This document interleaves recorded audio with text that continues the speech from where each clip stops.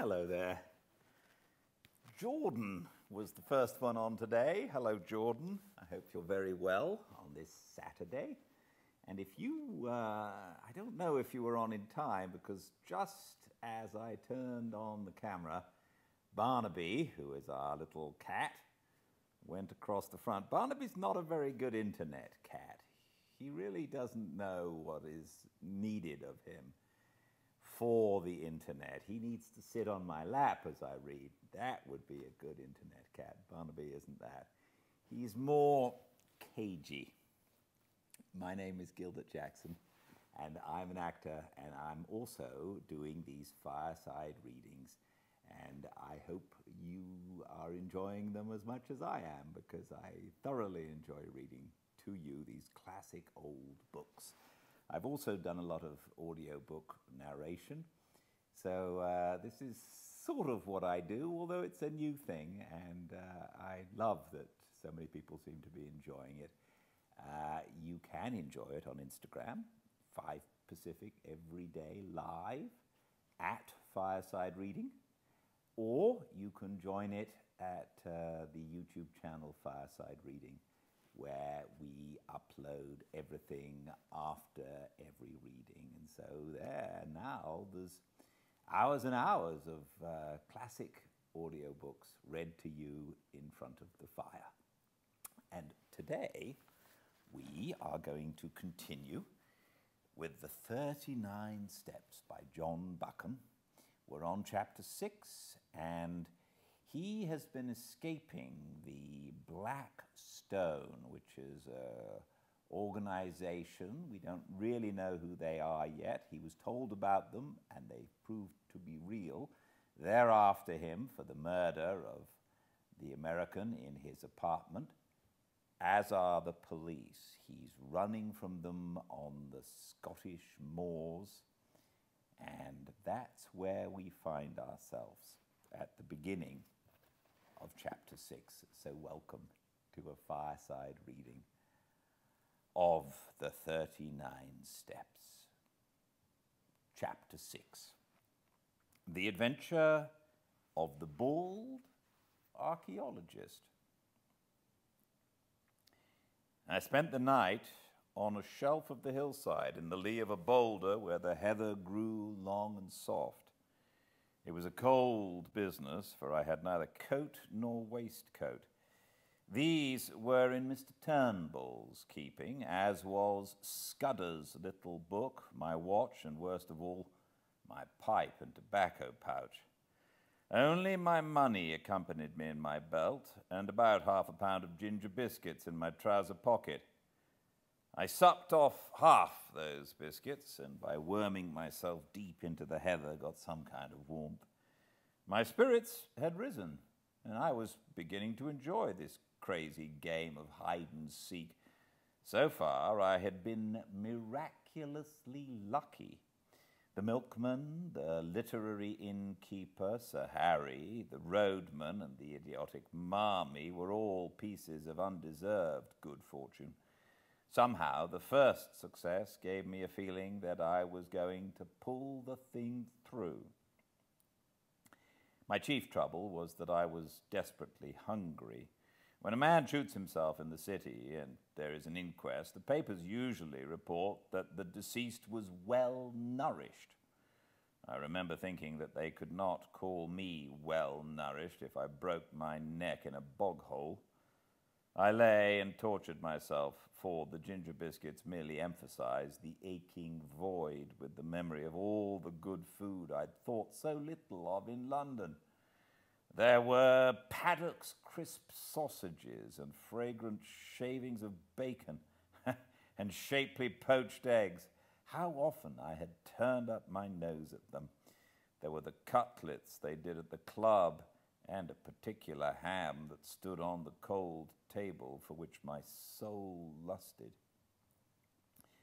My thoughts hovered over all varieties of mortal edible and finally settled on a porterhouse steak and a quart of bitter with a Welsh rabbit to follow. In longing hopelessly for these dainties, I fell asleep. I woke very cold and stiff about an hour after dawn. It took me a little while to remember where I was, for I'd been very weary and had slept heavily. I saw first the pale blue sky through a net of heather, then a big shoulder of hill, and then my own boots placed neatly in a blueberry bush. I raised myself on my arms and looked down into the valley. And that one look set me lacing up my boots in mad haste, for there were men below, not more than a quarter of a mile off, spaced out on the hillside like a fan, and beating the heather. Marmie had not been slow in looking for his revenge. I crawled out of my shelf into the cover of a boulder, and from it gained a shallow trench which slanted up the mountain face. This led me presently into the narrow gully of a burn, by way of which I scrambled to the top of the ridge. From there, I looked back and saw that I was still undiscovered. My pursuers were patiently quartering the hillside and moving upwards. Keeping behind the skyline, I ran for maybe half a mile till I judged I was above the uppermost end of the glen. Then I showed myself and was instantly noted by one of the flankers who passed the word to the others. I heard cries coming up from below and saw that the line of search had changed its direction. I pretended to retreat over the skyline, but instead went back the way I had come, and in 20 minutes was behind the ridge overlooking my sleeping place. From that viewpoint, I had the satisfaction of seeing the pursuit streaming up the hill at the top of the glen on a hopelessly false scent. I had before me a choice of routes, and I chose a ridge which made an angle with the one I was on, and so would soon put a deep glen between me and my enemies. The exercise had warmed my blood, and I was beginning to enjoy myself, amazingly. As I went, I breakfasted on the dusty remnants of the ginger biscuits. I knew very little about the country, and I hadn't a notion what I was going to do. I trusted to the strength of my legs, but I was well aware that those behind me would be familiar with the lie of the land, and that my ignorance would be a heavy handicap. I saw in front of me a sea of hills, rising high towards the south, but northwards, breaking down into broad ridges which separated wide and shallow dales. The ridge I had chosen seemed to sink after a mile or two to a moor which lay like a pocket in the uplands. That seemed as good a direction to take as any other. My stratagem had given me a fair start, call it 20 minutes, and I had the width of a glen behind me before I saw the first heads of the pursuers. The police had evidently called in local talent to their aid, and the men I could see had the appearance of herds or gamekeepers. They hallooed at the sight of me, and I waved my hand. Two dived into the glen and began to climb my ridge, while the others kept their own side of the hill.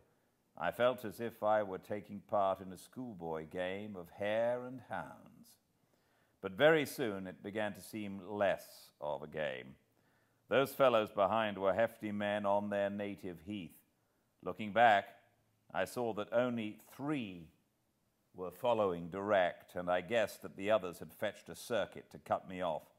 My lack of local knowledge might very well be my undoing, and I resolved to get out of this tangle of glens to the pocket of moor I had seen from the tops.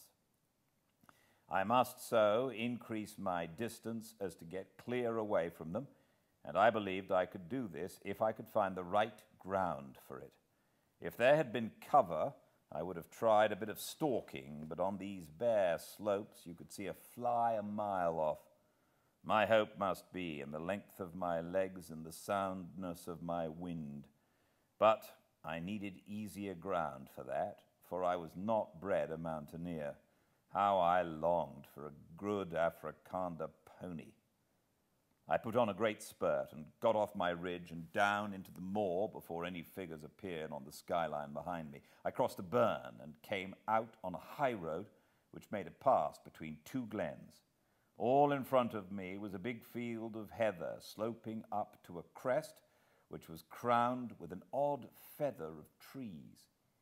In the dike by the roadside was a gate from which a grass grown track led over the first wave of the moor. I jumped the dike and followed it, and after a few hundred yards, as soon as it was out of sight of the highway, the grass stopped, and it became a very respectable road, which was evidently kept with some care. Clearly, it ran to a house, and I began to think of doing the same. Hitherto, my luck had held and it might be that my best chance would be found in this remote dwelling. Anyhow, there were trees there, and that meant cover. I did not follow the road, but the burnside, which flanked it on the right, where the bracken grew deep and the high banks made a tolerable screen. It was well I did so, for no sooner had I gained the hollow than looking back I saw the pursuit topping the ridge from which I had descended. After that, I did not look back. I had no time. I ran up the burnside, crawling over the open places, and for a large part wading in the shallow stream. I found a deserted cottage with a row of phantom peat stacks and an overgrown garden.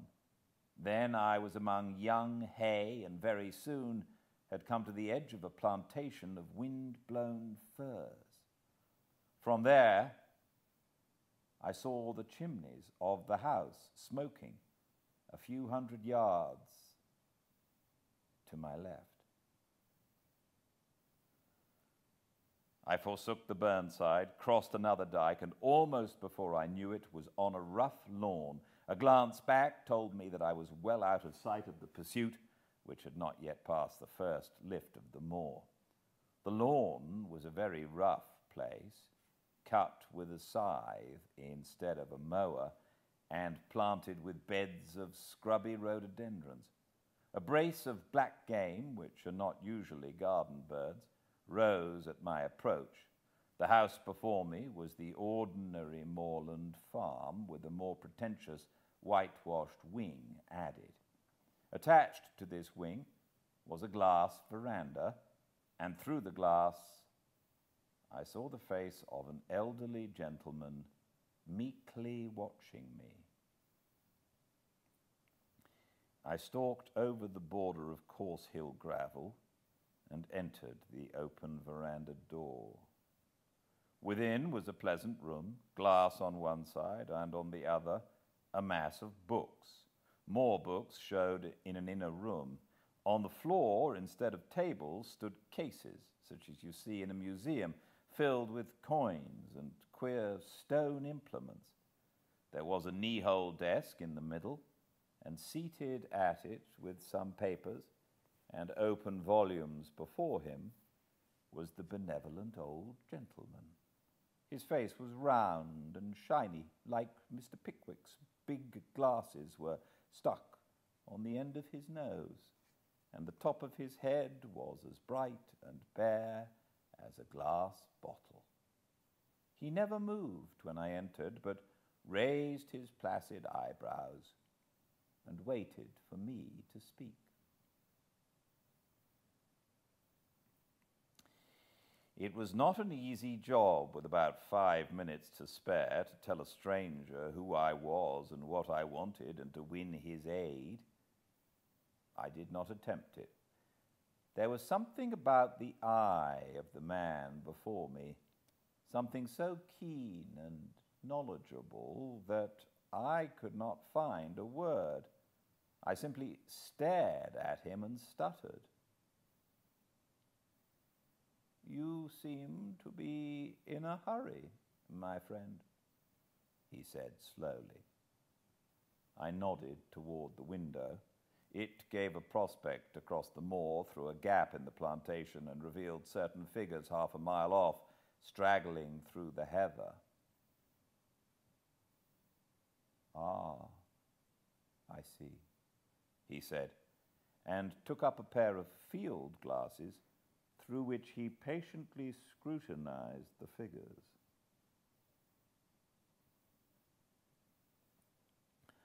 A fugitive from justice, eh? Well, we'll go into the matter at our leisure. Meantime, I object to my privacy being broken in upon by the clumsy rural policeman. Go into my study, and you will see two doors facing you. Take the one on the left and close it behind you. You will be perfectly safe. And this extraordinary man took up his pen again. I did as I was bid and found myself in a little dark chamber which smelt of chemicals and was lit only by a tiny window high up in the wall. The door had swung behind me with a click, like the door of a safe. Once again, I had found an unexpected sanctuary. All the same, I was not comfortable. There was something about the old gentleman which puzzled and rather terrified me. He had been too easy and ready, almost as if he had expected me. And his eyes had been horribly intelligent. No sound came to me in that dark place. For all I knew, the police might be searching the house, and if they did, they would want to know what was behind this door. I tried to possess my soul in patience and to forget how hungry I was. Then I took a more cheerful view. The old gentleman could scarcely refuse me a meal, and I fell to reconstructing my breakfast. Bacon and eggs would content me, but I wanted the better part of a flitch of bacon and half a hundred eggs. And then, while my mouth was watering in anticipation, there was a click, and the door stood open. I emerged into the sunlight to find the master of the house sitting in a deep armchair in the room he called his study and regarding me with curious eyes. Have they gone? I asked. They have gone. I convinced them that you had crossed the hill. I do not choose that the police should come between me and one whom I am delighted to honor. This is a lucky morning for you, Mr. Richard Hannay. As he spoke, his eyelids seemed to tremble and to fall a little over his keen grey eyes. In a flash, the phrase of Scudder's came back to me when he had described the man he most dreaded in the world. He had said that he could hold his eyes like a hawk. Then I saw that I had walked straight into the enemy's headquarters. My first impulse was to throttle the old ruffian and make for the open air. He seemed to anticipate my intention, for he smiled gently and nodded to the door behind me. I turned and saw two men servants who had me covered with pistols. He knew my name but he had never seen me before, and as the reflection darted across my mind, I saw a slender chance. I don't know what you mean, I said roughly. And who are you calling Richard Hannay? My name's Ainslie. So, he said, still smiling, but of course you have others. We won't quarrel about a name. I was pulling myself together now, and I reflected that my garb, lacking coat and waistcoat and collar, would at any rate not betray me. I put on my surliest face and shrugged my shoulders. I suppose you're going to give me up after all And I call it a damn dirty trick. My God, I wish I'd never seen that cursed motor car. Here's the money, and be damned to you. And I flung four sovereigns on the table. He opened his eyes a little. Oh, no, I shall not give you up. My friends and I will have a little private settlement with you, that is all. You know a little too much, Mr. Hannay. You are a clever actor, but not quite clever enough. He spoke with assurance, but I could see the dawning of a doubt in his mind. Oh, for God's sake, stop jawing, I cried. Everything's against me. I haven't had a bit of luck since I came on shore at Leith. What's the harm in a poor devil with an empty stomach picking up some money he finds in a bust up motor car? That's all I done, and for that I've been chivied for two days by those blasted bobbies over those blasted hills. I tell you, I'm fair sick of it. You can do what you like, old boy. Ned Ainslie's got no fight left in him. I could see that the doubt was gaining. Will you oblige me with the story of your recent doings? he asked. I can't, Governor, I said in a real beggar's whine. I've not had a bite to eat for two days. Give me a mouthful of food, and then you'll hear the God's truth. I must have showed my hunger in my face, for he signaled to one of the men in the doorway. A bit of cold pie was brought and a glass of beer and I wolfed them down like a pig, or rather, like Ned Ainslie, for I was keeping up my character.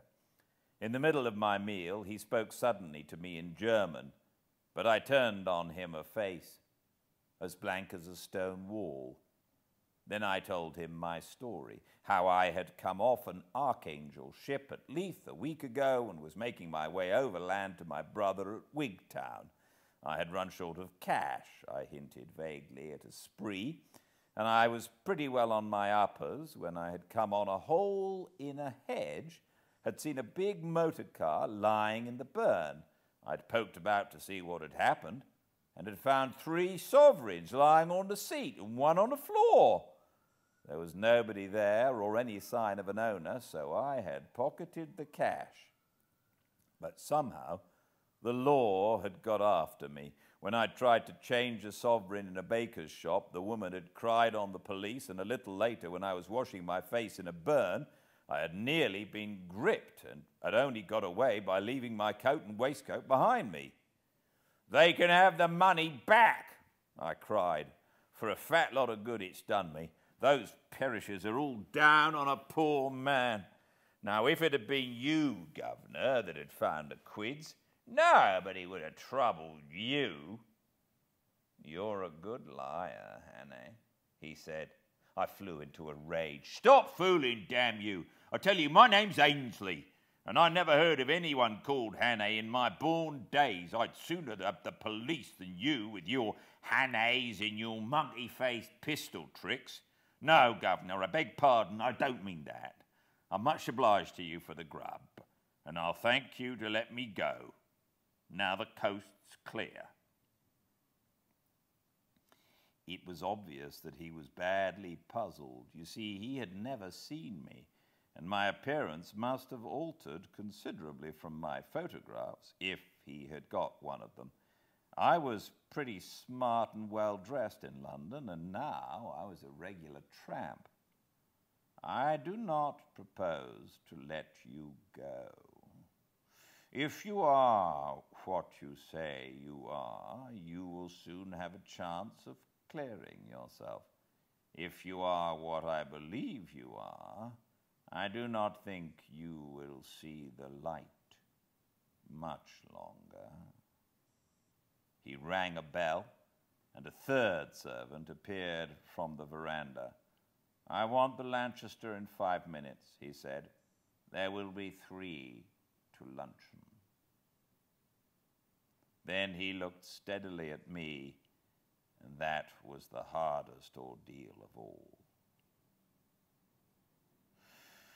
There was something weird and devilish in those eyes, cold, malignant, unearthly, and most hellishly clever. They fascinated me like the bright eyes of a snake. I had a strong impulse to throw myself on his mercy and offer to join his side, and if you consider the way I felt about the whole thing, you will see that that impulse must have been purely physical. The weakness of a brain mesmerized and mastered by a stronger spirit. But I managed to stick it out and even to grin. You'll know me next time, Governor, I said. Karl, he spoke in German to one of the men in the doorway, you will put this fellow in the storeroom till I return, and you will be answerable to me for his keeping. I was marched out of the room with a pistol at each ear. The storeroom was a damp chamber in what had been the old farmhouse. There was no carpet on the uneven floor and nothing to sit down on but a school form. It was black as pitch, for the windows were heavily shuttered. I made out by groping that the walls were lined with boxes and barrels and sacks of some heavy stuff. The whole place smelt of mold and disuse. My jailers turned the key in the door, and I could hear them shifting their feet as they stood on guard outside. I sat down in that chilly darkness in a very miserable frame of mind. The old boy had gone off in a motor to collect the two ruffians who had interviewed me yesterday. Now they had seen me as the roadman and they would remember me, for I was in the same rig. What was a roadman doing 20 miles from his beat, pursued by the police? A question or two would put them on the track. Probably they had seen Mr. Turnbull, probably Marmie too. Most likely they could link me up with Sir Harry, and then the whole thing would be crystal clear.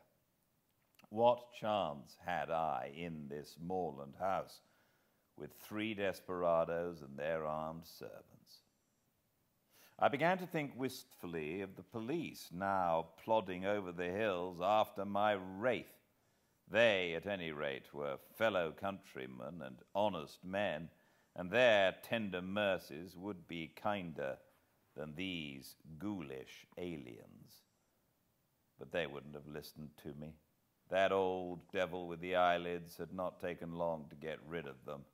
I thought he probably had some kind of graft with the constabulary. Most likely, he had letters from cabinet ministers saying he was to be given every facility for plotting against Britain. That's the sort of owlish way we run our politics in this jolly old country. The three would be back for lunch, so I hadn't more than a couple of hours to wait. It was simply waiting on destruction, for I could see no way out of this mess. I wished that I had Scudder's courage, for I am free to confess I didn't feel any great fortitude. The only thing that kept me going was that I was pretty furious. It made me boil with rage to think of those three spies getting the pull on me like this. I hoped that at any rate I might be able to twist one of their necks before they downed me. The more I thought of it, the angrier I grew, and I had to get up and move about the room. I tried the shutters, but they were the kind that lock with a key, and I couldn't move them. From the outside came the faint clucking of hens in the warm sun. Then I groped among the sacks and boxes. I couldn't open the latter, and the sacks seemed to be full of things like dog biscuits that smelt of cinnamon. But as I circumnavigated the room, I found a handle in the wall which seemed worth investigating. It was the door of a wall cupboard, what they call a press in Scotland, and it was locked. I shook it, and it seemed rather flimsy. For want of something better to do, I put out my strength on that door, getting some purchase on the handle by looping my braces round it. Presently, the thing gave with a crash which I thought would bring in my warders to inquire. I waited for a bit and then started to explore the cupboard shelves. There was a multitude of queer things there. I found an odd vesta or two in my trouser pockets and struck a light. It was out in a second, but it showed me one thing. There was a little stock of electric torches on one shelf. I picked up one and found it was in working order. With the torch to help me, I investigated further. There were bottles and cases of queer smelling stuffs, chemicals, no doubt, for experiments. And there were coils of fine copper wire and yanks and yanks of thin oiled silk. There was a box of detonators and a lot of cord for fuses. Then, away at the back of the shelf, I found a stout brown cardboard box and inside it a wooden case. I managed to wrench it open, and within lay half a dozen little grey bricks, each a couple of inches square. I took up one and found that it crumbled easily in my hand. Then I smelt it and put it to my tongue. After that, I sat down to think. I hadn't been a mining engineer for nothing, and I knew lentonite when I saw it. With one of these bricks, I could blow the house to smithereens. I'd used the stuff in Rhodesia and knew its power. But the trouble was that my knowledge wasn't exact. I had forgotten the proper charge and the right way of preparing it, and I wasn't sure about the timing. I had only a vague notion, too, as to its power, for though I had used it, I had not handled it with my own fingers. But it was a chance, the only possible chance. It was a mighty risk, but against it was an absolute black certainty. If I used it, the odds were, as I reckoned, about five to one in favor of my blowing myself into the treetops. But if I didn't, I should very likely be occupying a six foot hole in the garden by the evening. This was the way I had to look at it. The prospect was pretty dark either way, but anyhow, there was a chance, both for myself and for my country. The remembrance of little Scudder decided me. It was about the beastliest moment of my life, for I'm no good at these cold blooded resolutions. Still, I managed to rake up the pluck to set my teeth and choke back the horrid doubts that flooded in on me. I simply shut off my mind and pretended I was doing an experiment as simple as Guy Fawkes fireworks. I got a detonator and fixed it to a couple of feet of fuse. Then I took a quarter of a lentonite brick and buried it near the door below one of the sacks in a crack of the floor, fixing the detonator into it. For all I knew, half those boxes might be dynamite. If the cupboard held such deadly explosives, why not the boxes? In that case, there would be a glorious skyward journey for me and the German servants and about an acre of surrounding country. There was also the risk that the detonation might set off the other bricks in the cupboard, for I had forgotten most that I knew about lentonite. But it didn't do to begin thinking about the possibilities. The odds were horrible, but I had to take them. I ensconced myself just below the sill of the window and lit the fuse. Then I waited for a moment or two. There was dead silence, only a shuffle of heavy boots in the passage and the peaceful cluck of hens from the warm out of doors. I commended my soul to my Maker and wondered where I would be five seconds.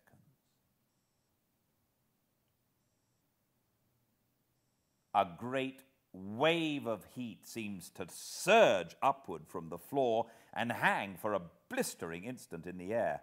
Then the wall opposite me flashed into a golden yellow and dissolved with a rending thunder that hammered my brain into a pulp. Something dropped on me, catching the point of my left shoulder, and then I think I became unconscious. My stupor can scarcely have lasted beyond a few seconds. I felt myself being choked by thick, yellow fumes, and I struggled out of the debris to my feet. Somewhere behind me, I felt fresh air. The jambs of the window had fallen, and through the ragged rent, the smoke was pouring out to the summer noon. I stepped over the broken lintel and found myself standing in a yard in a dense and acrid fog. I felt very sick and ill, but I could move my limbs, and I staggered blindly forward away from the house. A small mill lade ran in a wooden aqueduct at the other side of the yard, and into this I fell. The cool water revived me, and I had just enough wits left to think of escape. I squirmed up the lade among the slippery green slime till I, reached, till I reached the mill wheel. Then I wriggled through the axle hole into the old mill and tumbled onto a bed of chaff. A nail caught the seat of my trousers, and I left a wisp of heather mixture behind me. The mill had been long out of use. The ladders were rotten with age, and in the loft the rats had gnawed great holes in the floor. Nausea shook me, and a wheel in my head kept turning while my left shoulder and arm seemed to be stricken with the palsy. I looked out of the window and saw a fog still hanging over the house and smoke escaping from an upper window. Please God, I had set the place on fire, for I could hear confused cries coming from the other side. But I had no time to linger, since this mill was obviously a bad hiding place. Anyone looking for me would naturally follow the lade, and I made certain the search would begin as soon as they found that my body was not in the storeroom. From another window, I saw that on the far side of the mill stood an old stone dovecot. If I could get there without leaving tracks, I might find a hiding place. For I argued that my enemies, if they thought I could move, would conclude I had made for open country and would go seeking me on the moor. I crawled down the broken ladder, scattering chaff behind me to cover my footsteps. I did the same on the mill floor and on the threshold, where the door hung on broken hinges. Peeping out, I saw that between me and the dovecot was a piece of bare, cobbled ground where no footmarks would show. Also, it was mercifully hid by the mill buildings from any view from the house. I slipped across the space, got to the back of the dovecot, and prospected a way of ascent. That was one of the hardest jobs I ever took on.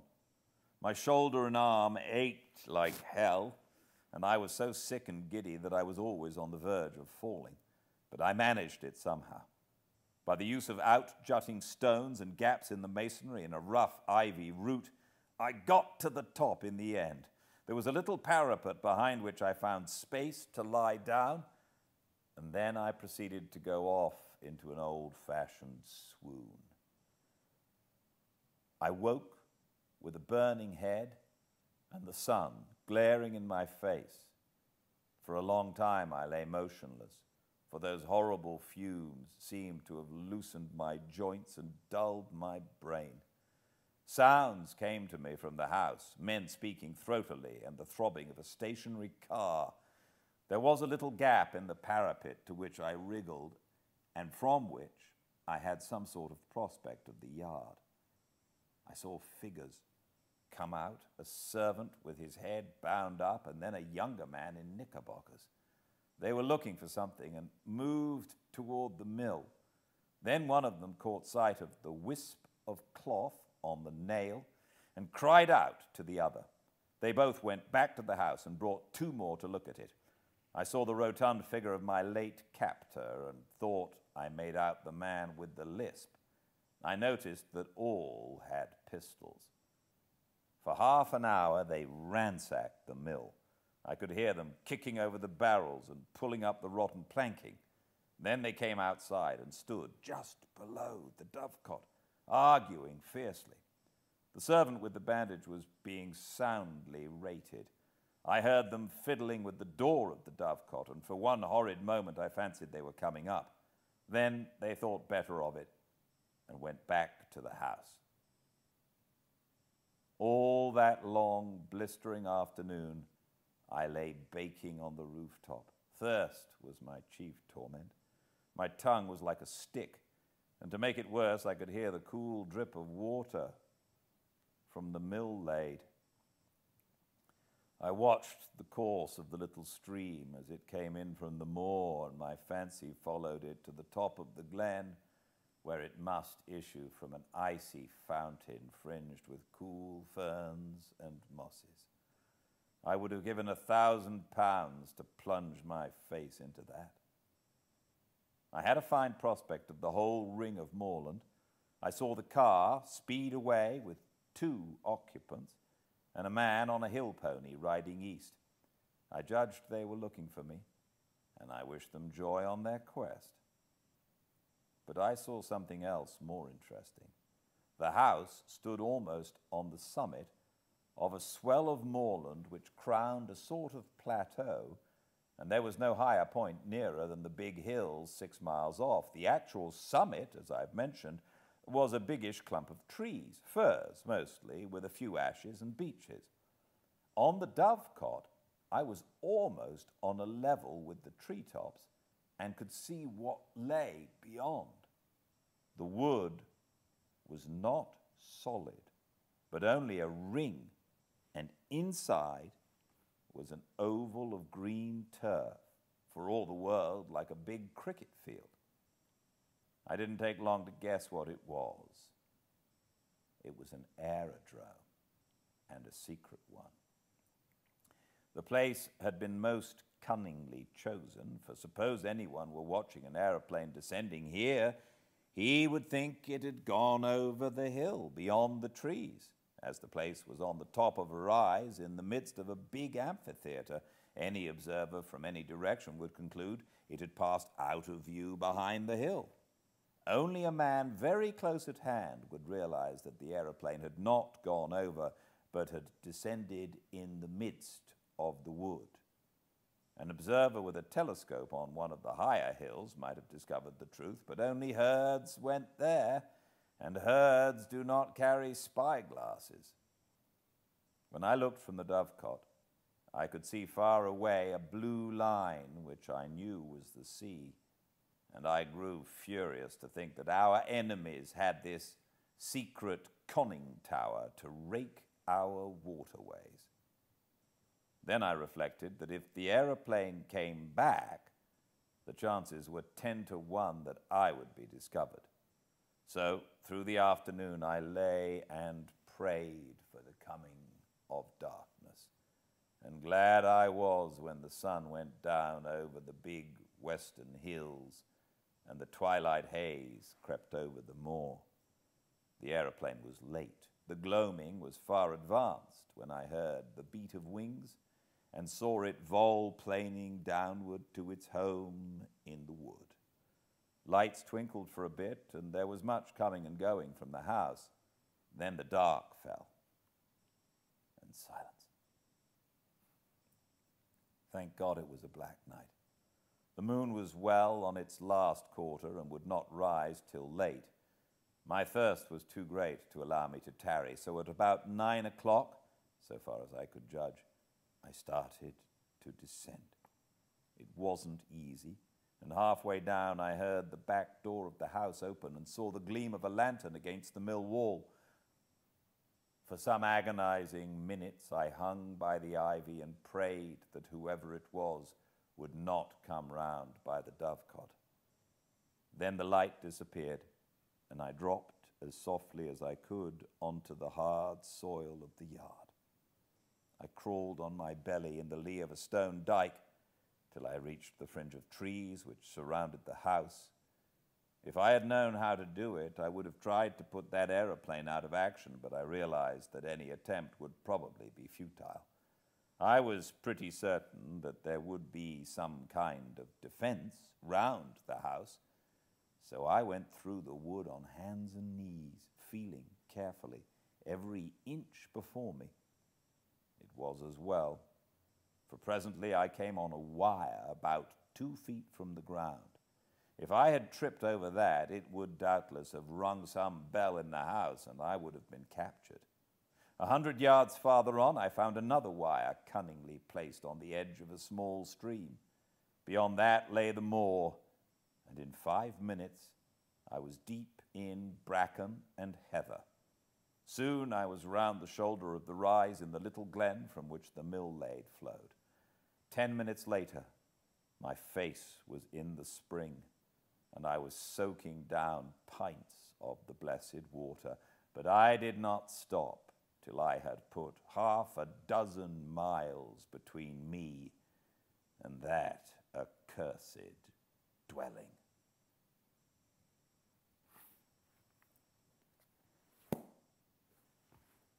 Thank you all for joining me. I hope this helps a little please check out the YouTube channel Fireside Reading. And if you'd like, please subscribe. That would help me. Until I see you next time, please stay very well. Good night.